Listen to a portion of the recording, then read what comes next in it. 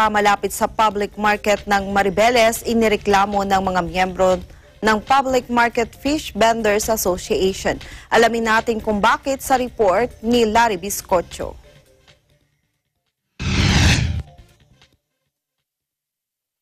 Dumadaing na ang samahan ng Public Market Fish Vendor Association sa pamilihang bayan ng Maribeles dahil sa talipapang nakapwesto malapit sa public market kaya umaapila sa lokal na pamahalaang bayan ng Maribeles ang mga lehitimong nagtitinda ng isda dahil wala na halos silang kinikita. Ayon sa presidente ng Public Market Fish Vendor Association na si Jonathan De Los Reyes, samantalang nagbabayad sila ng buwis taliwas sa mga talipapa vendors. Dagdag pa ni De Los Reyes, mahigpit nilang sinusunod ang mga panuntunan sa loob ng public market samantalang sa area ng Talipapa ay hindi umano nasusunod ang physical distancing. Kaya nagpasaklolo na at personal na ipinarating ng mga Fish Vendor Association kay Mayor Attorney Jocelyn Castañeda ang unang napagkasunduan ng mga Talipapa vendors ng mga at mga Market Fish Vendor Association na hanggang June 21 na lamang ang nasabing talipapa na napagkasunduan sa harapan ni Maribeles Administrator Angel Buboy Peliglorio subalit hanggang sa kasalukuyan ay nananatili ang nasabing talipapa sa gilid ng kalsada.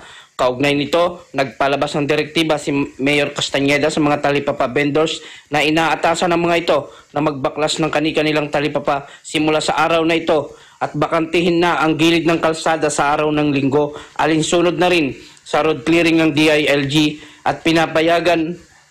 ang mga talipapa sa mga covered court lamang ng bawat barangay para masunod ang social distancing na umiiral hanggang sa kasalukuyan. Mula dito sa Bataan, para sa Eagle News, kasama si Antonio Garcia at Cesar Dabu, Larry Biscocho, we live in interesting times.